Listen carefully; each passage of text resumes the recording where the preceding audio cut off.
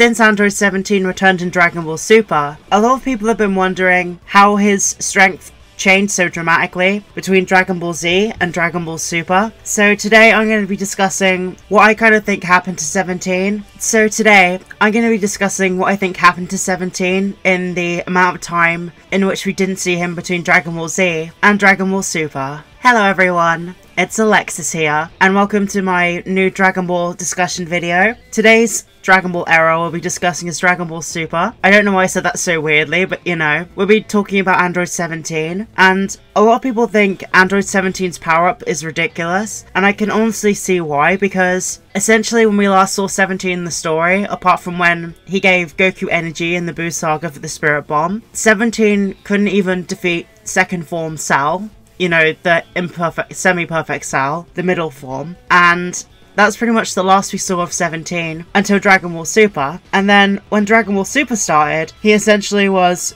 really powerful and could contend with Super Saiyan Blue Goku, a Super Saiyan God Super Saiyan. And this is a 17 that doesn't even have God Ki. And the androids essentially have infinite stamina, which means they can fight for an incredibly long time. And this is a very important thing in what I'm going to mention later. So yeah, I just wanted to mention that. So to begin, I know 17 doesn't have God Ki, but a character doesn't necessarily have to have God Ki to be powerful, if that makes sense. Because obviously, when we first saw Goku fight Beerus in the Battle of Gods arc in Super, and in the Battle of Gods movie, Goku as a Super Saiyan 3 was just completely outclassed and he couldn't even land a hit on Beerus. But something we need to remember is Beerus basically has an imperfected version of Ultra Instinct, so he's still, in, and he was obviously a lot stronger than Goku, so it doesn't really mean that a character without God Ki can't hit a character with God Ki. That's like saying someone with absolutely no martial art art skills can't hit someone with martial art skills. And it's just silly because it's just, you know, physics people can hit each other. So basically, if someone trains enough, I believe they can essentially be able to contend with gods even without God Ki. It just God Ki is just a new echelon of power, essentially, and can unlock different abilities with that power. So to begin, something that I think really helps 17 is that, like Android 18, she, not she, he essentially can never get tired when he's training. And a big part of this I think is how 17 got stronger. Because think about it, I don't, I can't exactly remember how many years it's been, but since the Cell Saga, there were seven years between the Buu Saga, and I think there's about another year between the beginning of Super and when they saw 17. So I think it's about an eight year time, you know, gap between when we last saw 17. And in between that, 17 has got a girlfriend slash wife and has a kid. So, you know, 17 has something to fight for. And something I think 17 has that 18 doesn't really have compared to him is motivation. And it's because the outlooks are very different. Because Cell got defeated, 18 doesn't really Cell's a threat, obviously, so she forgot about what happened to her and got over it. However, I personally think 17 may have not gotten over being absorbed by Cell and having a family and everything. I feel like ever since he was revived, I feel like he's been training rigorously ever since because think about it, like, not everyone's gonna get over being absorbed and you know it's a traumatic experience and so i think 17 is training incredibly hard all the time just in case a villain like Cell comes back and so he can protect his family. And I think that's the main driving force 17 has to train, including protecting the island he looks after and protecting his animals, obviously, because he's a park ranger. So I think 17's definitely got a motivation to train, and besides, with infinite energy, unless he adopts the habit of sleeping, I don't think 17 really ever sleeps, or hardly ever sleeps. So I can imagine 17's just bored, and a lot of the time, he's just training on his island. I know a lot of people say like, oh,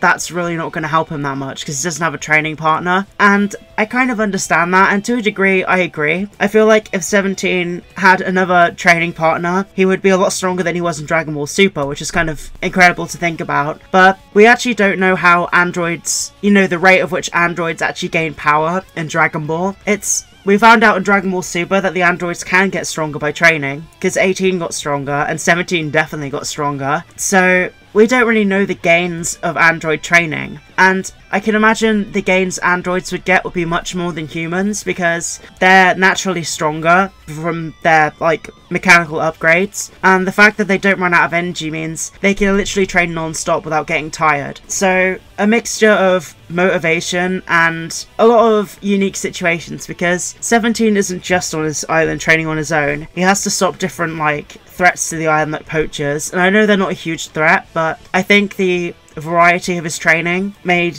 17 become strong over the years. And a lot of you guys will think that it's ridiculous, and when you actually think about it, it's not in Dragon Ball because Gohan essentially stopped training for seven years after the Cell Saga, and obviously he was a lot weaker, but by doing a little bit of training, he gradually improved, and during Super, before the Tournament of Power. I believe Gohan trained for like two hours and he unlocked his ultimate form again. And then he was ridiculously stronger than he was in Dragon Ball Z. So I think if Gohan as a Saiyan can improve that much within a few hours and, you know, a few sessions of regular training, I definitely think Android 17 could get a lot stronger, uh, even without a training partner. Like, when you think about it, if he's training for like eight years, seven years non-stop, you know, seven or eight years, it really makes a lot of sense that he can improve. And with the way Dragon Ball Super's going with characters getting stronger, I think his explanation, he doesn't really need a huge explanation. Like, if he's regularly training and pretty much training non-stop to cure his boredom when he's not with his family and, you know, while he's protecting the island, I honestly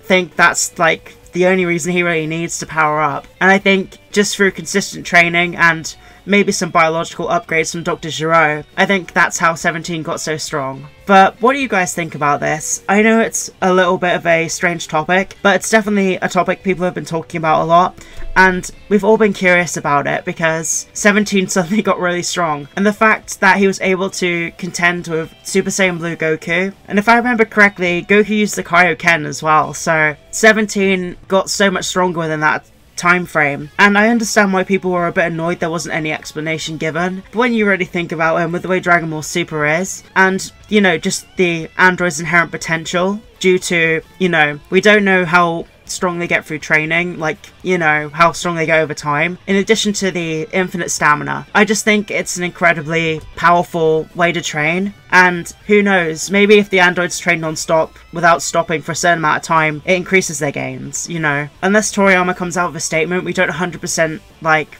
know the reason. However, I personally think that it's just, you know, just training all the time. But it's very interesting the way of how strong 17 got when he fought Goku and in the Tournament of Power, and he's definitely a lot stronger than 18. So, from what we can tell, 17 trained a heck of a lot more than 18. And when you actually think about it, 17's fighting with 18 because they do a lot of good combination attacks and fusion attacks. So, they naturally are good together in a team. However, 17 in a fight against 18 one-on-one would probably just body 18 because he can basically he's basically holding back for most of the tournament if that makes sense but anyway i'm going on a tangent um do you agree with my analysis do you agree with my theory i personally think it's a pretty solid one. And who knows, maybe 17 went on his own little adventures that we didn't see, and he might have found this like weird MacGuffin which helped him power up. You never know. But I think that's very possible. Maybe 17 did go somewhere to train. Like, probably on Earth, but we don't know whether he spoke to Kami in between those years and found out about the time chamber. You never know. But